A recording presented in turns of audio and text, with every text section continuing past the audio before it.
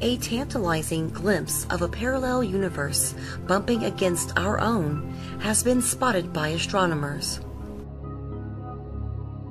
Scientists say they have seen hints in signals from the furthest reaches of space that suggest the fabric of our universe is being disrupted by another quite different universe.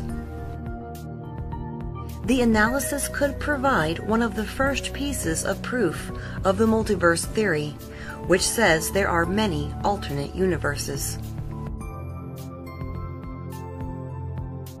Dr. Ranga Ram Chary, a researcher at the California Institute of Technology in Pasadena, examined data from the cosmic microwave background gathered by the European Space Agency's Planck Space Telescope. Within this glow left over from the moments after the Big Bang, he discovered a number of spots where the microwave light is far brighter than it should be. These, he claims, may be signals caused by the interaction between our universe and another one a few hundred thousand years after the Big Bang, or around 13.8 billion years ago. According to New Scientist, which first reported Dr. Chary's research, this is akin to two bubbles bumping into each other. These so-called bubble verses, which are expanding within the multiverse, bumped into each other as they expanded after the Big Bang, leaving an imprint on each other's outer surface. In the paper published on the open source site, arxiv.org, he has submitted to the Astrophysical Journal, Dr. Chary says the signals he has seen suggest the alternate universe may be very different from our own.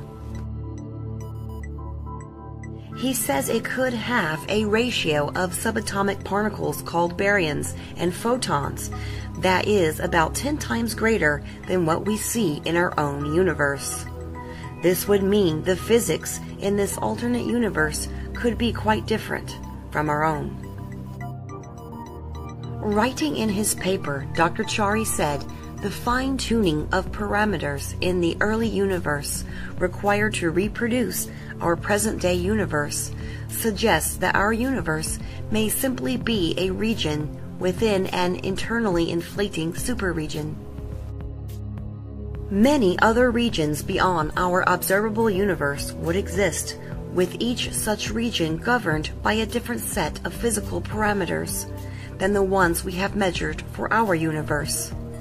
To make his conclusions, Dr. Chary used models of the cosmic microwave background and subtracted it from Planck's pictures of the entire sky. He then removed signals from the stars, gas and dust, with all these removed, all that should have been visible in the image was noise. However, Dr. Chary's reports that instead he found scattered patches that look 4,500 times brighter than they really should. His findings have already excited other astronomers who believe he may be onto something although much further work is needed to prove the signals he has checked out.